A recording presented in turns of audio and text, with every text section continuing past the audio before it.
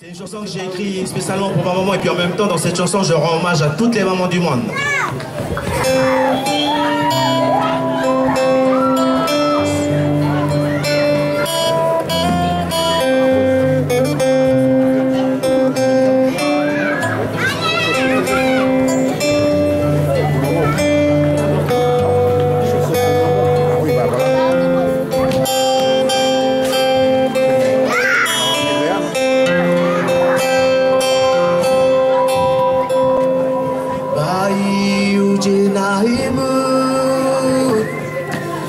Kulu dan intanku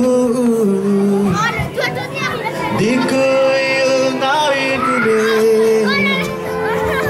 Na ini tajibu